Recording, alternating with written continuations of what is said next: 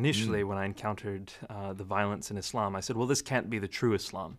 And I, for years, would push back, arguing, no, this hadith here is unreliable. For example, Muhammad says in Sahih Muslim that he has come to expel the Jews and Christians from the Arabian Peninsula and will not leave any but Muslims.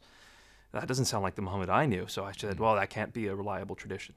And then another tradition from Sahih Bukhari, which says, I have been ordered to fight people until they testify that there is no God but Allah, and only then will their lives and their property be saved from me.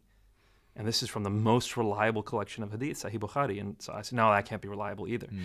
And as you continue, you find Muhammad beheading mul- multiple hundreds of men at the same time. Um, you see him uh, distributing those men's wives and children into slavery.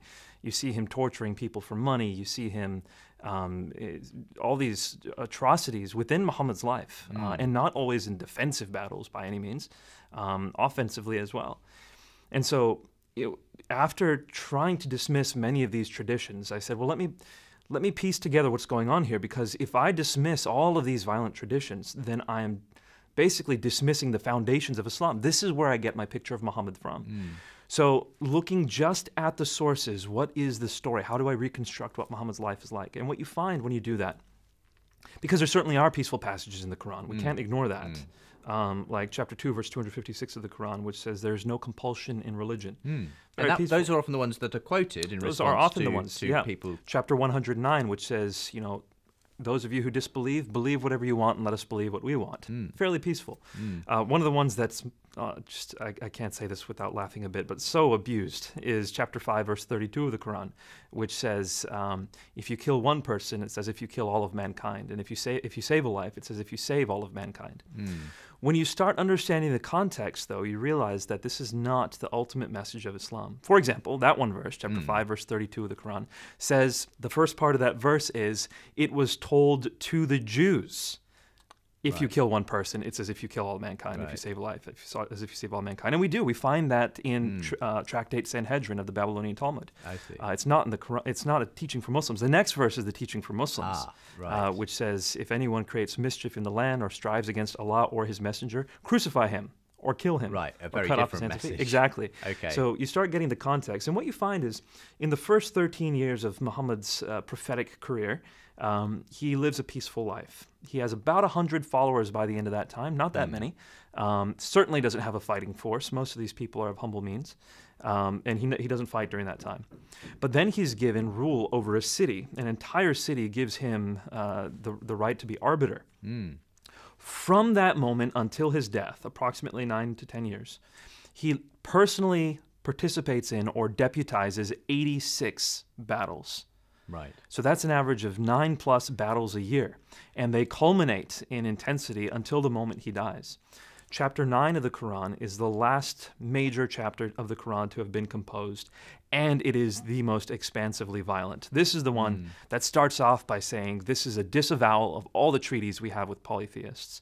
Chapter 9, verse 5 Slay the mm. infidels wherever you find them, lay siege to them, take them captive. Chapter 9, verse 29 Fight the Jews and Christians until they pay you the poll tax right. and they feel subdued. Why? Chapter 9, verse 33 Islam has been made to prevail over every religion.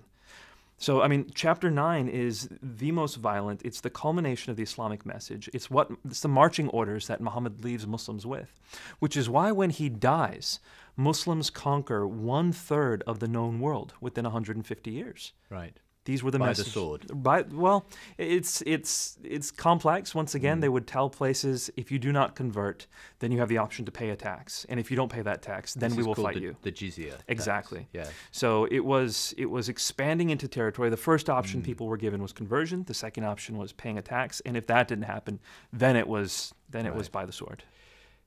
And do do you basically see this as effectively the modus operandi of groups like ISIS today? Well, this has been the classical understanding of Islam up until the fall of the Ottoman Empire. No Muslim really ever had qualms with it. It's it's what it was, and this mm. is the mes- the means through which Allah had given Muslims dominance around the world. And it wasn't until Muslims had to had to as a, a culture flip the script and start playing the defensive, the, the victim. Mm. Uh, card, which they hadn't done before. Mm. Uh, so, for example, the Crusades, many Muslims will point to the Crusades now and say this is another example of, of Christian uh, sort of uh, superiority complex and trying to keep mm. us down and oppressing us. The, the Crusades were never even discussed in Islamic literature. There was no Muslim or Arabic word for Crusades until Christians came up with one in the Right. 19th century. Okay. Um, it just wasn't a part of the Islamic mentality until the Ottoman Empire fell, the Islamic world started losing its power, and then these discussions started happening. And that's why you don't hear the phrase Islam is a religion of peace until the 20th century. That simply wasn't a phrase. It was never then. said, it was never Yeah. thought that wasn't the way Muslims had thought up until that time. Tune in to the Profile interview in association with Christianity Magazine every Saturday at 4 pm, only on Premier Christian Radio, where faith comes to life.